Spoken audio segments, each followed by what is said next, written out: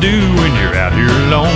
But listen to the radio till daylight breaks, hoping they play something that'll keep you awake. The whole night trucker station came to an end, but behold, a new savior stepped right in. Thank God for the satellite and radio. For good trucking music, there's a place to go. Bill Mack and Cindy and Dave Nemo. Thank God. For Good morning, good morning, guys. We are getting ready to uh, get out of this truck stop. It's about 10 o'clock in the morning right now, and we got 20 miles to go. And uh, look at this four wheeler, eh? He just does not want me to be ahead of him, eh? he wants to cut in front of me there. Oh well, I gotta get out of here and. Uh, we got uh, 20 miles to go to my delivery place. And, uh, you know, look at that. He just got right in front of me. He doesn't have no patience. Maybe you ought to teach that boy that either he's going to have patience or he's going to become a patient. Anyways, I gotta go over to my delivery place up here in uh, Illinois, In Morrison, 300 Illinois. feet, turn right on Lincoln Way, US 30. Yeah, we gotta go through Clinton here. Uh, we had a fantastic meeting with our friends here last night, slash YouTubers. We went over there to Applebee's and uh, had a bite to eat, but that didn't work so good. I got sick. I don't know what I ate, but I got sick from that Continue food, on I this think. road for 3.3 miles. There in the middle of the night, I woke up and everything came out. And it didn't come out in the bottom. oh, yeah. Anyways, we're to go over there. I'm on the phone with Mr. Trucker Jukebox. So check him out if you haven't. He's on YouTube as well. And uh, we'll see you guys a little bit later. Well, guys, we have just finished getting unloaded. We're in Morrison, Illinois. It's like 11:45. At 10:30 we rolled her in there. Well, that's not too bad. I've been here where it's been worse than this, you know. I've uh, been bugging dispatch to get me a reload, and uh, they have given me something to do. They gave me uh, an order to go to Rochelle, Wisconsin, Rochelle or something like that, Wisconsin. I know exactly where that is. I've been there many times before.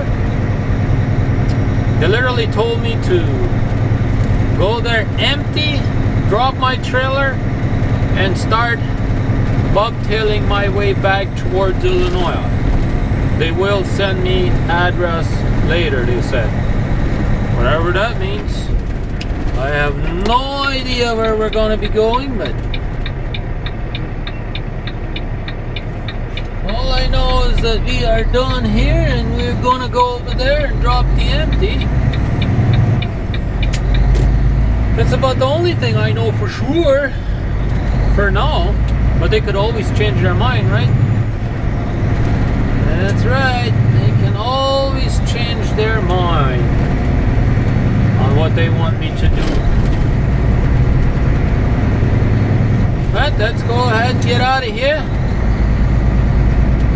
Let's get back onto the interstate. We're going to be going up here a couple of streets on the back roads here. And then we'll be on uh, I-88. Take that up to uh, I-39. And that goes straight north. Yeah, that's right. Straight north. We are back in Wisconsin already. Just cruising along. Seems like there's fairly heavy traffic up here today, but better than that, we're just cribbing there. Yeah. We got about 156 miles to go to where we're supposed to drop our trailer. We have no idea what we're going to do after that, but hey, that's what we got to do first.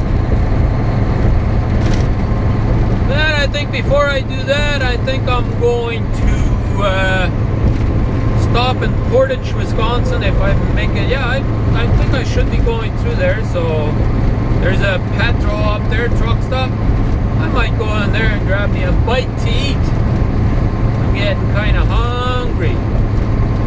That's right. Anyways, we'll continue on cruising along and see what the rest of the day will have in stock for us. We are leaving this Petro truck stop up here in, uh, well, Portage, In Wisconsin. feet, turn right on Kinney Road. We have to stop and uh, grab a bite to eat. That's right. So we uh, had ourselves a nice bite to eat uh, in here in uh, Portage, Wisconsin. In 500 feet, Had turn my left half on an hour off. 78. That's right. Now we got 100 miles to go up to our, de- uh, I almost said delivery, but delivery of this trailer, I suppose. And then I gotta come right back this way. That's right. Gonna go to Belvidere, Belvidere, I think they said, Illinois, to grab an empty trailer over there. And then I'm supposed to go somewhere else in uh, Illinois. I think it was Rockview, Illinois, or something like that. And pick up a load over there, do a trailer switch over there, and then go back home from there. That kind of sucks, but I was hoping I could at least go up to Toronto and go home from there, you know? But that doesn't seem like a possibility, so I guess we'll just have to go home then. And that's alright, we'll go out Saturday then. Uh, looking at it, I could probably be home Thursday afternoon. And then uh, I would have a reset done by Saturday morning. We'll just go out Saturday morning. No big deal, I suppose. Uh, just the way it's going to be. I told them I wanted to go east, but I guess they just don't want to give me a long trip like that. Seems like I'm having to fight just to get a nice long trip. Oh well. This load is going to Saskatoon, Saskatchewan. So I may ask them to uh, deliver that up to Saskatoon, you know. I may just do that. Don't know exactly yet, it'll be Friday. Well, I don't know. I don't know what would be better for me. I really don't. I guess I'll make a decision later on. Maybe I will go, just go home and then take a reset. In the hopes of going out Saturday and getting me a nice trip on Saturday. To go somewhere on a bit of a longer trip. Hopefully that will work. That would be nice. Anyways, we're gonna go make our way over to Rochelle, Rochelle, Wisconsin, and then uh, drop our trailer and hightail back towards Illinois. I don't know if I can make it all the way there and pick up my trailer tonight yet, but or I could probably do it, but do I really want to? That's the question. That's the million dollar question right now. I don't really want to work till midnight tonight, you know. I hate to do that. We'll continue on and see what else we will be able to show you guys today. Alrighty guys, we have just finished dropping our empty trailer here in Rochelle, Wisconsin. Now we're gonna hightail out of here. The reason why I'm saying that is, possible, uh, and then turn left in 700 feet. Construction ahead. Just gotta say goodbye to this guy. Alright, he's not even looking. Anyways, as I was gonna say is, I don't know if you can see it out there by the camera looking outwards, but it is actually snowing. It just started snowing about half an hour before I got here, so I'm gonna try and hightail back further south where it's warmer. it shouldn't be snowing down there, at least it wasn't earlier, so hopefully that's still the case, you know. Just gonna get out of here. Turn right. Construction ahead. alright. Construction ahead, alright. Well, I want to go that away, so. Stop sign. A couple of four wheelers come in my direction too, so. Gotta wait for them, right? There you go. Now we can get back on the road, so. Well, according to my GPS, it says it's uh, 207 miles, I think it said, to. In two Uh, miles, take the entrance to the left on I-39 South US 51 South.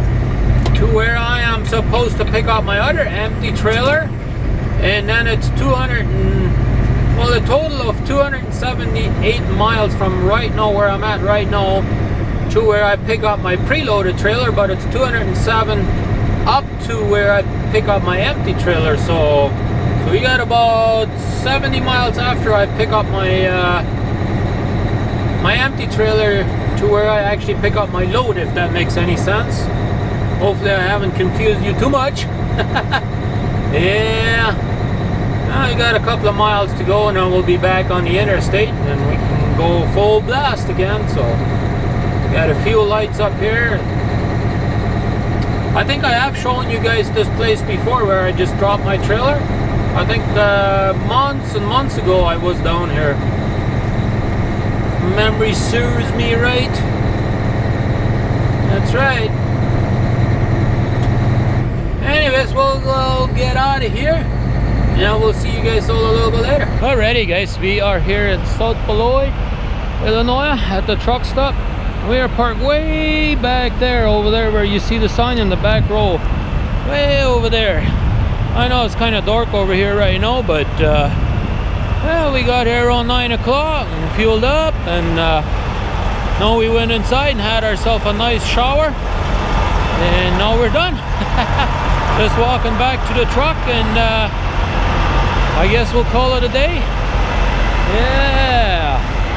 There's a bunch of trucks in here as you can see. That's right. But at least it's not really cold at all out here, you know. It's actually very nice. Yeah, it's a little cloudy. I had a little bit of flurries there on my way down here. But other than that, we're doing good. Feeling much better now after a nice hot shower. That's always a good thing. But uh, anyways, we'll go walk back to our truck and then we'll see you guys over there. Well guys, that is pretty much it. All that's left pretty much to do is render these videos up and put it on to YouTube. And that's pretty much it. Yeah, we have had ourselves a fantastic day. A lot of empty driving today, but that's good for me, right? As an owner operator. Hey, I wouldn't complain. That's right. Empty miles means good fuel mileage, so it means more money in my pocket. yeah, that's right. But anyways, uh, I hope you guys enjoyed today's vlog. If you did, don't forget to rate it up, give me a big thumbs up, share the video, and if you're new to us, hey, hit that subscribe button and you'll be emailed when I upload a new video and you get to watch whatever is new. So we appreciate you guys watching my channel. So we'll stick around and watch tomorrow again. Because we have some good ones coming up here in the next couple of days. That's for sure. So we'll catch you tomorrow.